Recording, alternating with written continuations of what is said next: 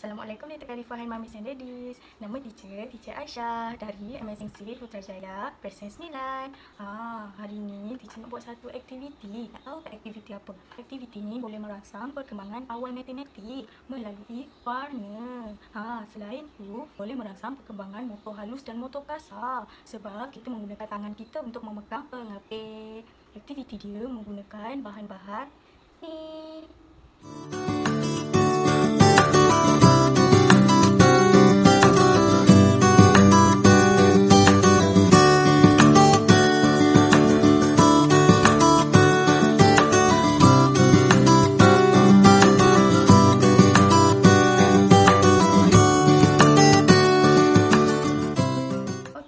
dah siap.